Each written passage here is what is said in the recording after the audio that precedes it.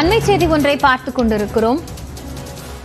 உயர்நீதிமன்ற மதுரை கிளை ஒரு கேள்வியை எழுப்பியிருக்கிறது. அதன் அடிப்படையில் நடிகர்கள் பாபி சிம்ஹா மற்றும் பிரகாஷ் ராஜ் மீது கொடைக்கானலில் விதிமுறைகளை மீறி வீடு கட்டியது தொடர்பான வழக்கில் என்ன நடவடிக்கை எடுக்கப்பட்டிருக்கிறது என்ற கேள்வியை முன்வைத்திருக்கிறது. கூடுதல் விவரங்களோடு மதுரை செய்தியாளர் கருணாகரன் இணைந்திருக்கிறார். அவரோடு பேசலாம். கருணாகரன் இப்போ இந்த வழக்கினுடைய பின்னணி என்ன? உயர்நீதிமன்ற கிளை முன்வைத்திருக்கக்கூடிய கேள்விகள் என்ன?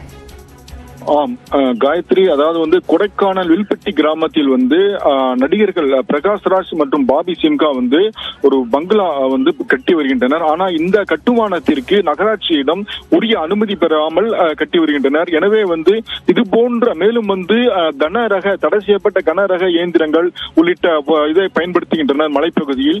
எனவே இதனால் வந்து மலைப்பகுதியில் மண் சரிவு ஏற்பட வாய்ப்புள்ளது. சுற்றுச்சூழல் பாதிப்பு ஏற்பட உள்ளது. எனவே வந்து இந்த இந்த கட்டுமானத்திற்கு தடை விதிக்க வேண்டும். நடிகர்கள் மீது உரிய நடவடிக்கை எடுக்க வேண்டும் என்று மனு தாக்கல் செய்திருந்தார். இந்த மனு நீதிபதிகள் கிருஷ்ணகுமார் மற்றும் விஜயகுமார் அமர்வில் விசாரணைக்கு வந்தது.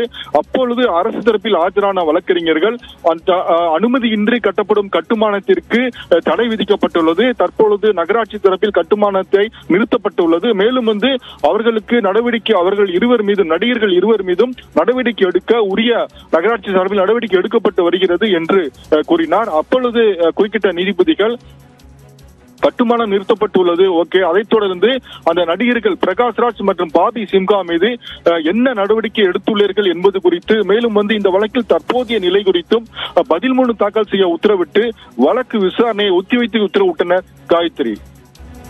நன்றி கருணாகரன். விவரங்களை வழங்கியமைக்காக.